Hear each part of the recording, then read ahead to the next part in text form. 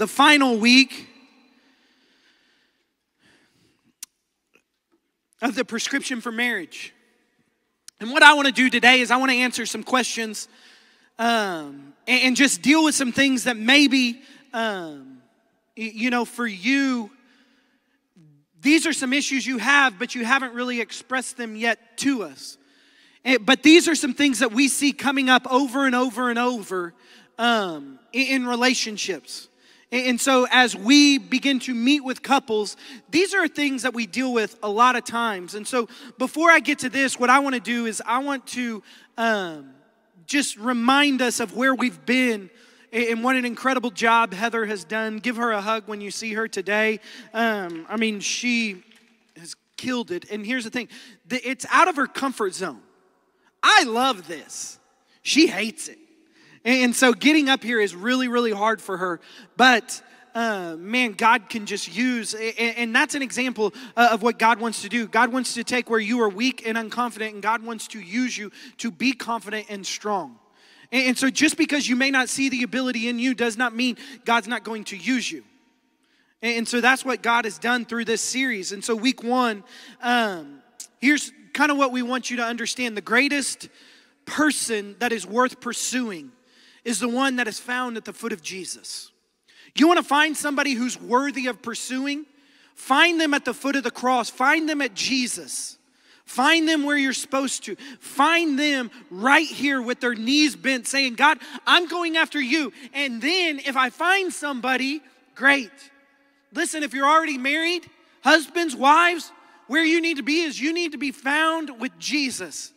The greatest thing that I see in my wife is I see it every morning right before I leave. She has her Bible and she has a chair. Everybody has a chair in the house. You know what I'm talking about? Like that's that's dad's chair, that's mom's chair. She has this chair at the kitchen table when we go eat, like you don't sit in mom's chair. Um, but that's where she does her Bible study every morning. And when I'm walking out the door, sitting there at the kitchen table, she has her Bible, she has her notebook, she's taking notes, she's writing down, she's putting in what God is saying to her, and she's reading her Bible. Do you know how I know our marriage is going to make it? Because of that. It's not because of what I'm doing. It's not because of what she's doing. It's not because we're nice to each other, we're gracious to each other, anything like that.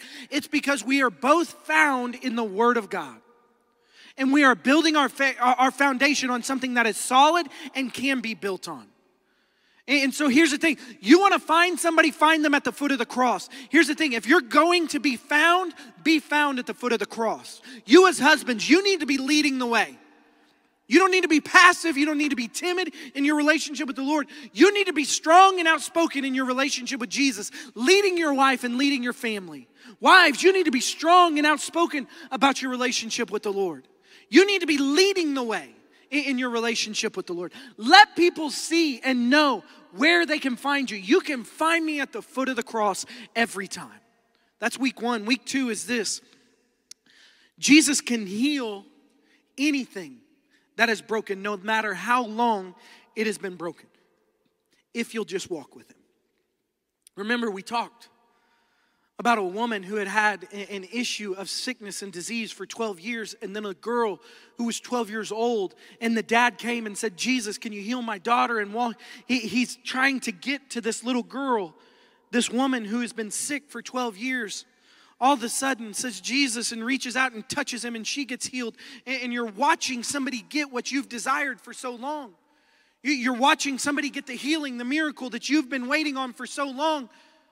And that dad decides, I'm giving up, I'm not gonna do it, we're gonna go away. And Jesus says, No, walk with me to your house. Walk with me. Here's what we don't know we don't know how long it's going to take. We don't know how long the journey is going to be. We don't know how tough the journey is going to be. We don't know how many hills you have to climb over, how many mountains you have to climb up. We don't know how many people you're going to encounter along the way. All we know is Jesus said, Walk with me. And some of you today, here's what you need to do. You're trying to come up with everything that you can in order to make your relationship right. And Jesus is just saying, Walk with me. It's a journey, it's a process. It's gonna take time, but walk with me. And you're making every excuse to do everything else. Well, maybe I'll do this, maybe I'll do that, maybe I'll go here, maybe we'll go see this, maybe we'll go see that.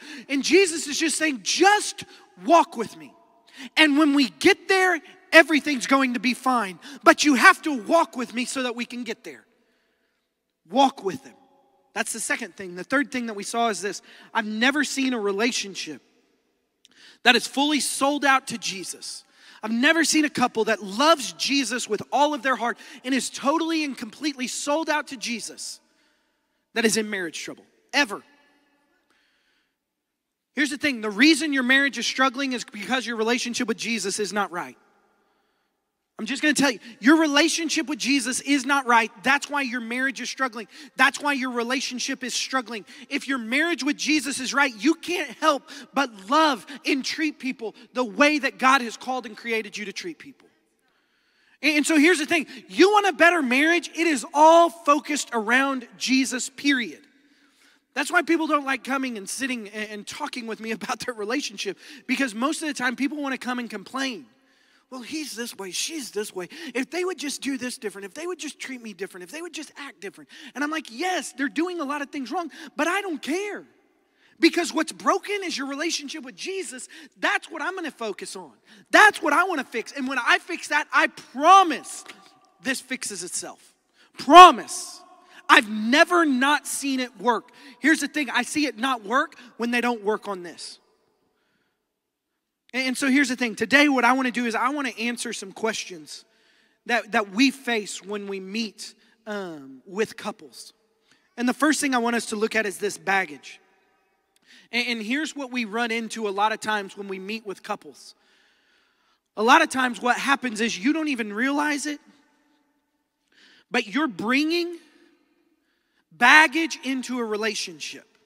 And some of you, you've been married for a long time, and you still don't recognize that how you grew up, the way that you grew up, what you saw your parents doing, how you saw your parents treating each other, how you saw your parents responding to each other, everything like that is baggage that you're bringing into the relationship. And so now, when you get into a situation, the problem is you're going to respond by what you've seen. You're going to respond in a way that you, you've seen your parents respond. See, Heather and I grew up totally and completely different. Heather grew up and she was very wealthy growing up, had a lot of money. Her first car was a Lexus. My first car was a baby blue Ford Tempo. There's a minor price gap in between those two things. I listen. I remember um, when I got that car, it's like yesterday. It was the most disappointing day of my life. Um, I was, I had to pay for my own car when I turned 16. My parents weren't buying me a car. My mom and dad, uh, my dad was an administrator and a teacher and coach at a school. Um, my mom worked at the school. She was a cheerleading coach. Um, and so, like, you don't get into teaching to become a millionaire okay it just it doesn't happen and, and so like we didn't uh, we didn't have a ton of money i went to a private school because my parents worked at the private school heather went to the private school because her parents paid for her to go to the private school two completely different things and so I, I remember I'm turning 16. I've got to buy my own car. I've got $4,500. That's it. And so I, I worked my tail off over the summers trying to get enough money to buy a car. I started looking on Auto Trader and I'm like, I want a Tahoe. I'll be sick. And then I realized I'm like $55,000 short of a Tahoe. So I'm a little disappointed and I'm trying to figure out how I can get $55,000 in a month. Um, and every way I came up with was not good and would not allowed me to stay on this stage preaching. Um, and so I, I, I just start looking, and all of a sudden, my grandpa calls me and he's like, Johnny, he's like, I found you a car. And I'm like, What? He's like, Yeah. And my grandpa, he's an oil man. My grandpa had some money. Guy drove caddies. I mean, this guy, I mean, you know, I mean, it's, and so I'm thinking, come on, man, you know, give me a car. And I'm like, what, what do you got? And uh, he's like, I found you. He goes, There's this couple in our town. He goes, They have an RV and they pull this car behind it. Only has like 11,000 miles. They want $4,200. I was like, I get to save $300? This is amazing. He's like, You want it? I'm like, Yes. What is it? And he's like, It's in immaculate condition. I'm like, It sounds like it. And he's like, It's a light blue Ford Tempo. I'm like, I don't know what that is, but it sounds amazing. In my mind, I'm thinking Corvette ish. I'm like, Yes, I love it. Never seen one before in my life. So my mom's like, Hey, how about I drive and go get it from your grandpa tomorrow? I'm like, Yeah, he lives in Beaver, five hours away. So she drives up there so that she could get back and be here when I get out of school and it's sitting there. So all day long, like I'm pumped. I'm like, come on. I'm like, guys, guess what? I'm getting my car today. When we come out, my car's gonna be in the parking lot. I cannot wait. Like, y'all gotta come out and see it. This is so cool. Now remember, I'm in a private school. The cars I park in between is a Porsche 911 Turbo, a BMW, and a Range Rover. And I'm like, don't ding my door, people. Ridiculous. And so, like, I, I, I am so excited, and like the bell rings, and I'm like, I'm like, come on, guys, see my car. Yes. I'm like, it's a Ford Tempo. They're like, what's that? I'm like, God, Corvette-ish. I don't know. Like, this is awesome. And so I run outside and literally standing there. My mom is waving next to a four door baby blue Ford Tempo. If you've never seen one, Google it. They're beautiful cars. And like I go outside and I'm like, she's not here, guys. go back in. I, I don't know. And it's like parked like right in front. And like, you know, normally like 16 birthdays, like they put a big bow on it. Like we had one of those little bows that go like on presents, you know, and it was like sitting on top of it and stuff. And I was like, oh my gosh, like, ah. And she's like, Johnny, Johnny, here it is, Johnny. And I'm like, oh, I don't know who that lady is. They're like, that's your mom. I'm like, no, it's not. And that is definitely not my car. And so I, listen, drove a baby blue Ford Tempo. And there's nothing that will keep you more humble than a baby blue Ford Tempo. I mean, rolling up in a date, yeah, baby blue Ford Tempo. That sucker, it was a four cylinder, so when you hit 70, it shook. It just, it, like it had seat massagers. Whether you wanted them on or not, I mean, you would be driving at 70 and just. I mean, it was that. I, I thought that engine's going to drop out at some point because I pushed it so hard. Then, like, you hit 80 and it's just. so loud, you can't even get the radio loud enough to hear anything. Like, it's just screaming. This is my car. This is how I grew up. Heather grew up a little different. So you can imagine coming into a relationship how the baggage that she's carrying and the baggage that I'm carrying is a little different. One of the first times I come home from dinner, we get home from the honeymoon. I mean, it's that lovey phase. Babe, I miss you. Do you have to go to work? You know, yes, you know, um, and, and, everything. So I go to work and, and I come home and I'm standing there and I'm like, where's dinner? Well, not to mention the night before, she cooked chicken Alfredo. And she did not cook a lot growing up. She cooked for like 47 people. Like it, it's just us two, and she brings it out, and it is stacked up this high. And I'm like, Dad gum. She's like, yeah, I didn't know how much I needed to cook. And so, and so the next night I come home and I'm like, hey, uh, you know, where's dinner? She's like, what do you mean? Are we not eating? She's like, Yeah, where do you want to go? Cafe Heather? I'm like, what do you mean, where do I want to go? She's like, we eat out tonight. Who eats out tonight? We don't make much money. Like, we can't afford to eat out. I was making $18,000 a year when we first got married. 18,000. That's like you, you can't do anything with 18,000. After you paid all the bills, you are taking a loan. It's terrible. And, and so, like, she comes home and she's like, Well, we always go out and eat. When I grew up, my baggage, we ate out maybe five times a year as a family.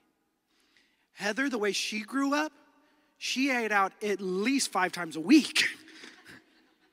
And so now all of a sudden there's some expectations walking into the relationship that, listen, they're not bad, they're just uncommunicated.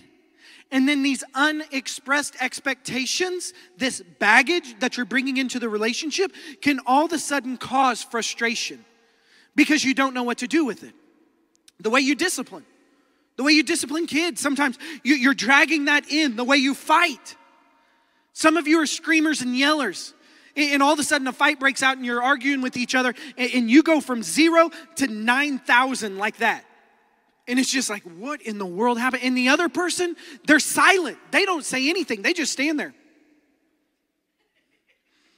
And you won't say anything, you won't do anything. Like, like you just stand there and you just walk away. And you're like, I'm wondering why this is happening. Could it be it's because what you've seen? And so now what you've seen is how you act and respond? And some of you are just cool and collected. Oh, I know, I'm so sorry. I, I will, I, I will change that. And you just, Obviously, not Shanna. and so, and so some of you are just kind and sweet and just everything's just, uh, you know, okay. And you're wondering, why does this come? Because you watched your parents do it that way. And so now all of a sudden you're bringing this baggage into the relationship. And you don't even understand sometimes why it's happening. The way you discipline kids, you bring it in. For me, when I got disciplined, it was not a conversation that we had. My dad was like, Boy, get upstairs and bend over now. And then he would come downstairs and I'd change my attitude because he changed it for me. Heather's dad did things a little different. He would have an hour long conversation with her. How do you feel? Why do you think you did this?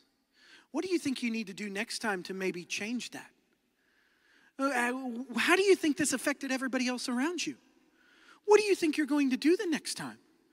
So when our kids started getting older and it came time to discipline, I walked upstairs and I came down pretty quick. And Heather's like, that was a quick conversation. there wasn't any talking going on. She's like, what do you mean? She's like, well, how do they feel? I was like, pretty sore. She's like, what? You think they'll do it again? I go, Not if they don't want that again. And she had an expectation that I was going to walk up there and she goes, Well, that's not what my dad did. I said, I ain't your dad. And she said, You didn't just talk to him? I said, No. I said, I beat the tar out of them. They better not do it again. But here's the thing some of you, you're walking into the relationship and you have this baggage and you don't understand. And those are just a couple of examples. There's a lot of things that you carry into a relationship that you don't even understand. The way you spend money, whether you save, go on vacation, what you do, what you're doing with retirement, whether you go get loans, whether you don't. Like Heather's family, they had money, and so here's the thing they don't like debt. So they pay cash for everything. And then we were looking at a car and she's like, we need to pay cash for it. I was like, what cash?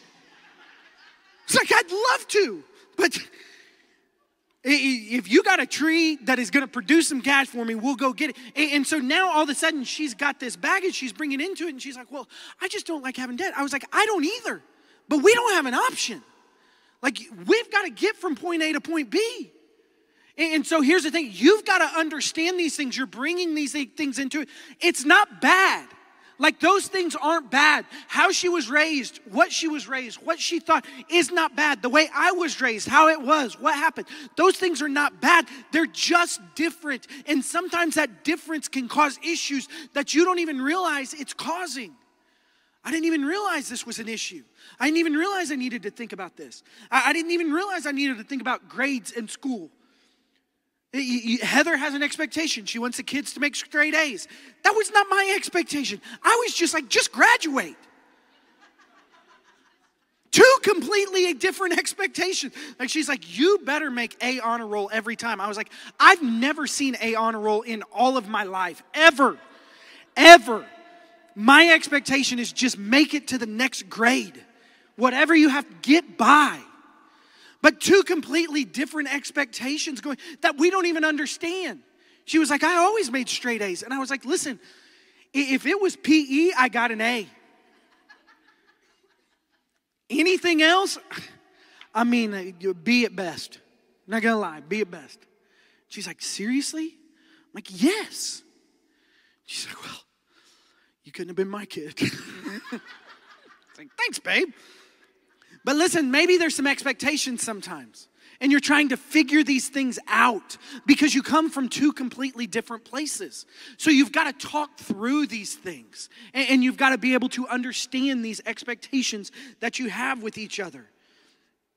The second thing is this maybe what we face a lot of times in a relationship and the conversations that we have is an unbelieving spouse.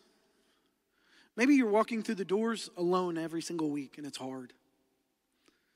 It's hard coming to church. It's hard coming to church by yourself. It's hard coming to church when your spouse stays home. You've been praying for them, you want them to come, you want them to come through the doors, but they just don't. Here's what I want to encourage you with 1 Corinthians 7:14 it says this, "For the unbelieving husband is made holy because of his wife, and the unbelieving wife is made holy because of her husband." Otherwise, your children would be unclean. But as it is, they are holy. Meaning this if you will continue to be faithful, you can change a hard heart and soften a hard heart. Listen, when we came through the doors, here's what I want you to understand. We came through the doors, and I talked about these chairs. Some churches, what they do is they put some kind of curtains in front of empty chairs and everything like that. And I was like, I don't want to do that. I don't want us doing that. I want you to be able to see the opportunity that we have in front of each other because we've never had this opportunity before. Well, we've never been able to um, have seats where people can come and be a part of what we're doing. And so I was like, I want people to see them, and then I want people to start praying over them. And I want people to start thinking about what is going on and uh, the people that could come through the doors and, and fill that seat. And I said that one time, and then Kelly Abbey posted this about her dad. That's Terry. You all know Terry. Terry stands in the parking lot. He leads our um, parking lot team out there, he leads our security team here at the church. But what you don't know about Terry is Terry didn't go to church before he came to church here. And this is what Kelly wrote If you don't believe in miracles, I'll show you one. Right here, this chair it was never filled most of my life. It was always prayed for, it was prayed hard for, but never filled. The last six years or so, it has been filled. Not only filled, but encouraged. This chair now holds a miracle, a servant, a God centered dad, a prayer warrior, a Bible reader, a person changed. Miracles are real, and this is the proof. A mom and a daughter, every time they came to church, they would come to church, and sitting next to them was an empty seat because dad wasn't there. A mom and a daughter would walk through every single week and they would say, I want dad to come. And when they would sit down, they would see an empty chair next to him and they would pray, Someday dad's going to fill that seat. Someday dad's going to be here. Someday mom's going to come. Someday they're going to fill this seat. And every week they would walk through the doors and they would be faithful. And they would be faithful to come. They would be faithful to pray. And finally, dad showed up. And finally, the seat that they had been praying for, dad showed up. Finally, the seat that they had been weeping over and asking, I just want my dad to come to church.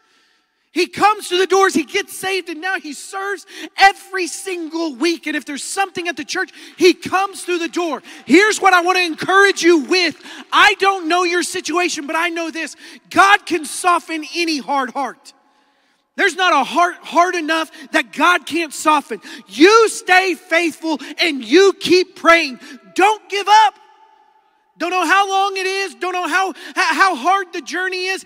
Keep walking with Jesus. Stay faithful. Let them see Jesus in you. Let them find you at the foot of the cross. You stay faithful so that then God softens their heart and God changes them from the inside out. But then here's the thing when God gets a hold of them, He doesn't just get a hold of them, He changes the entire family from the inside out. Come on, somebody. But here's the thing friends don't let friends pray alone. If you know somebody who's coming alone, put your arm around them and pray for them. You know somebody who keeps coming through the door every single week and they are they are dragging their kids, fighting them through the parking lot, and it's hard because they've got four kids and they're coming through the doors and they just keep coming every single week and you can tell the stress level is about to hear. Don't let them come alone. Don't let them pray alone. Put your arm around them and help them. Put your arm around them and say, You're not walking this journey alone. You've got people who love you and care about you, and we're praying the same thing. That's a miracle waiting to happen. That's a miracle waiting to happen. That's a mom who's gonna walk through the doors, fall on her knees, and give her heart to Jesus. That's a dad who's gonna walk through the doors, be broken because of the life that he's living, give his heart to Jesus, and be changed forever. That's a miracle waiting to happen. And we're praying with you. We're not gonna let you walk on this alone. We're praying with you. Friends, don't let friends pray alone. If you see somebody, don't ever let them sit by themselves. Ever. Let them know when they walk through the doors here, they're not alone. You, you've got somebody, you don't know me. That's all right. Listen, sometimes when I go into a restaurant, I don't know people and it's weird. I get in trouble all the time. I get in trouble at the hospital just walking into rooms. Uh, sir, you can't just do that. I'm like, ah, we're good. I'm like, hey, we're, just, we're friends. What's her name? I have no clue. But here, here's the thing don't let them be alone. How can I pray for you? What do you need? When you walk through the door, I'm going to help you at your car. Text me next week. When you get here, I'll meet you at your car and I'll help you in. When you get here next week, I will sit with you in church. Well, I'll come pick you up. Let's go to lunch together. I'll pay for your lunch. Taco Bell or something. It's getting expensive. Third thing is this the widow. Some of you, we've been talking about a marriage series, but you don't have a relationship. Your spouse has died. I remember my grandparents. My grandparents were married for over 60 years and they never spent a night apart until my grandma died. My grandpa didn't know what to do with himself. Some of you are walking through the doors and you don't know what to do with yourself. You're walking through the doors and you feel lost because your purpose was so wrapped up with each other, and now that you don't have each other, you don't know what to do. I want to encourage you because you may be lonely, but you're not done. It may be different, but it's not over. And here's what happens a lot of times in kids, grandkids, I, I want to encourage you with your mom and dad. Don't let them walk through this alone. Call them, talk to them, invite them over. Let them spend time. They're not just a babysitting tool. Spend time with them, love on them, encourage them. Here's what the word says it says this I'm reminded of your sincere faith in 2 Timothy 1 5. A faith that dwelt first in your grandmother, and then in your mother, and now it's in you. Here's what I want you to understand uh, about what God wants to do through you. God wants to use you to influence generations to come. Your kids and your grandkids, they are a legacy and a heritage that you have. They are the future. I'm so grateful for grandparents. Listen, this is not a grandparent's cup of tea. My mom and dad drive from Norman every single week. Did you know worship? They like the loud music, the bass, um, the noise. Like it's not what they love. Like when we go to their house, it's not like we're walking in and it's like, you know, like they're like, yeah, Johnny. No, like they got like Gaithers playing in the background. But here's the thing they come because they're supporting the next generation. They walk through the doors because they see a future. And so, what they've decided is we're going to sacrifice our desires in order to see a better future for you. I don't have to love everything, but what I can do is I can support you. I am so grateful for the grandparents that walk through the doors that say, This may, everything here is not my cup of tea. It's not how it's been done in the past. It's not everything I love, but I'm coming because I love my kids and I love my grandkids and I want to support them and I want to see them sitting in church and I know this is a place they'll be sitting so I'm coming and supporting them. That's that's your legacy. That's your calling, that's your purpose. Don't give up on it. Keep pushing, keep fighting because you're not just influencing this generation, you're influencing the next generation. That's what 2 Timothy 1 5 says. We've seen it in you, now we see it in their mom, and now we see it in them because of you. Your faith is being passed down from generation to generation. Just because your spouse has gone does not mean your calling and purpose is over. Keep fighting, keep pushing. Keep being obedient to what God has called you to. And the last thing is this money. And this is where in the first service it got really quiet. And everybody was like, oh, I've got a meeting. I've got to get to, I forgot about. Because here's the awkward thing some of you, you are in terrible financial struggles right now. Your marriage is falling apart, and part of the reason is because you don't know how to spend money. No, you know how to spend money, you don't know how to save money. That's not the problem. You can spend it like crazy. Listen, some of you have a super nice house, you have super nice cars, you have boats, you have motorcycles, you have vacations that are just unbelievable, you have clothes that are just incredible. But the problem is, every time you get to the end of the month, you don't have enough money to pay for all that. But yet you want it and you keep buying it. And so then what ends up happening is the stress of all of that is put onto the relationship and you continue to fight because you're trying to impress people who, in the end of the day, they're not crawling into bed with you. It's your spouse. And you're looking at each other and you're saying, We don't need this. We don't need this. This is putting us in a hard situation. Let's not spin like this. Let's not buy these things. Let's not do these things. Let's live within our means. Oh, when I got my first car, one of the things that my mom and dad told me is listen, you don't need to go get a loan and go buy a car. Buy a car that you can afford. And from that point, we've taken that. And here's the thing when we first got married, we got a credit card that, got, that had a $1,000 limit. That's it. Because we didn't want to put ourselves in a situation eh, to where all of a sudden we're trying to dig ourselves out of a financial hole that we can't afford. So, my mom and dad and her mom and dad were super wise in encouraging this for us. Hey, don't do this. So, guess what we did? We got that $1,000 credit card, and guess what? We spent it like crazy. I mean, we went shopping, we were like, free money! And so they were, how are you paying for this? And I was like, this thing right here, where's that money coming from? I have no clue, but it just always shows up.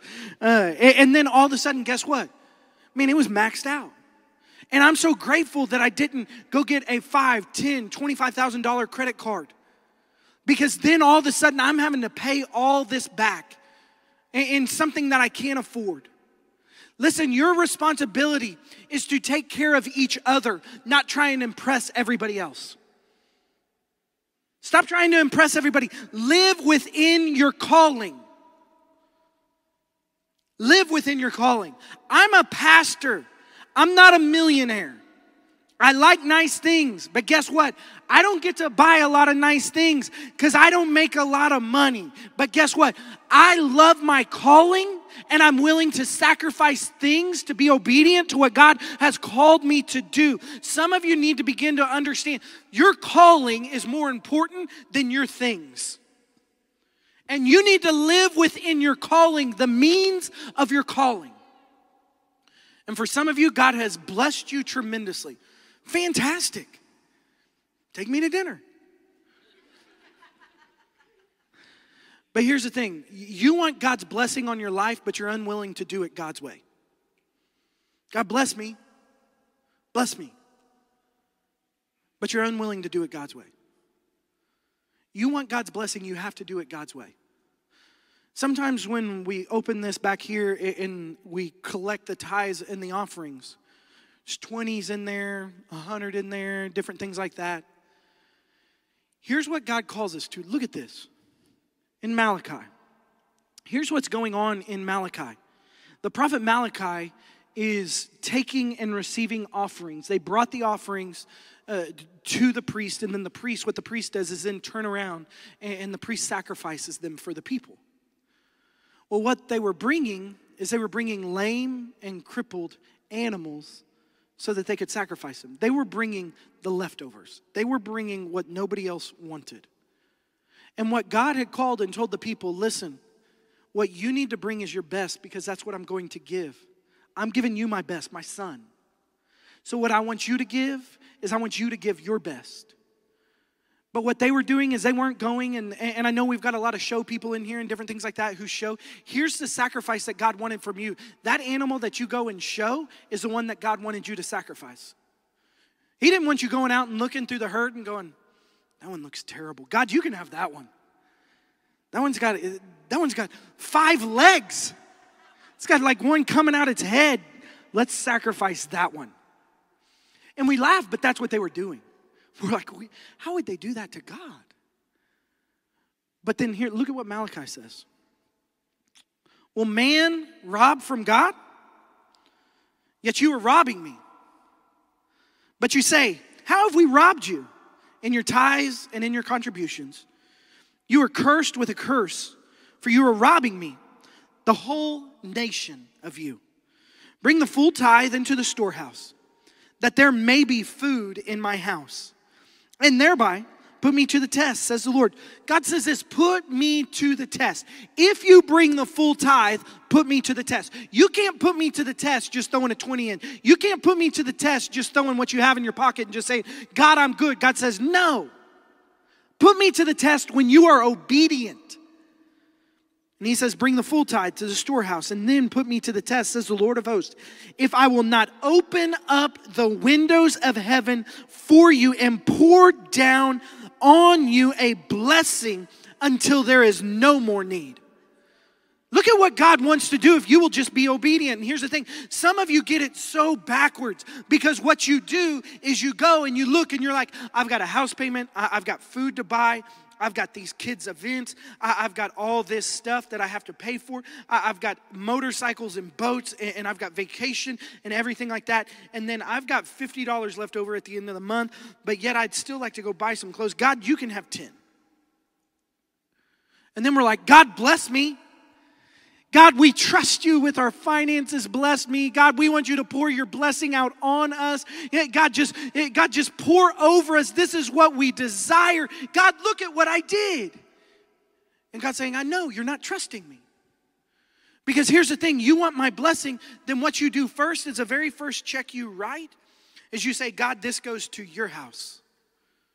This is your house, 10%. Because God will always do more. And what Heather and I have seen over the years, God does more every time with 90% than I can do with 100. Every single time. I don't know how he does it. My math does not add up. But listen, you remember, I wasn't an A student. But it does not add up. But every time God does it. God does it in a way that I cannot, I, I, cannot fathom, I cannot wrap my head around. But but here's the thing: you want God's blessing, then do it God's way. Stop blaming God when you won't do it God's way. Because God says, test me. Let's see. Let's see. Test me. You want to see what God will do? You want to see how God can turn things around? You want to see how God can make things right? Test me. Be obedient. And then you know what? My responsibility as your pastor is this I have to be obedient to do what God has called us to do as a church and, and to steward that money in an honorable way. That where when I stand up here, I have nothing to hang my head about, I, I have nothing to be guilty about. Because what we are doing is we are seeing people saved and we are doing everything we can to see husbands and wives relationship restored, kids turn and give their heart to Jesus, see people in the community come to Jesus in every way help that we can. And so then when I stand before God, listen, you are not held accountable for the funds of the church as they come in. I am. And so you better be for sure that I'm going to do everything I can. But then, not only that, we have a board, we have overseers that watch and see and check everything so that we are doing everything above board. Because, listen, I have to steward not my money, God's money. And you think when I become an accountant for God, that's not a big deal? It's a huge deal. And so here's, here's the thing you be obedient to God. Some of you, your marriage is struggling because of your finances, but you're unwilling to do it God's way. You want to do it your way and get God's blessing. And God's saying, no. And so maybe today, before you leave, you just need to put your arm around each other and just say, We're doing it God's way. How are we going to make it happen? I don't know. But it's God's way. It's God's way. We're going to cut other stuff out. We don't need the motorcycles. We want the motorcycles, but we don't need the we don't need the vacation home. I watched a couple, they came in and they had tons of debt and their marriage was struggling, and we talked about it. The next week they walked in and they had sold over a hundred thousand dollars worth of debt in one week. Hundred thousand dollars worth of debt. You can do it. And listen, when they walked in, they had uh, this huge burden on their back. And when they came through the doors the next week, man, they were walking with their chest out, their chin up. They felt so good because they weren't burdened to impress people. They were going to be obedient to what God had called them to do. And so today, listen, here's what I want to encourage you with. I don't know where you are, uh, but Jesus is the only hope for your relationship. Jesus is the only hope. If you will put Jesus number one and chase after Jesus, He will change everything. Period. He can restore anything. Listen, we saw it in Terry. There was an empty seat. A mom and a daughter came through the doors every day and they prayed for that empty seat. There's some miracles that are going to start happening. There's some miracles that are going to start taking place. Your job, your purpose, it's not over. Keep fighting. Be obedient. Will you pray with me?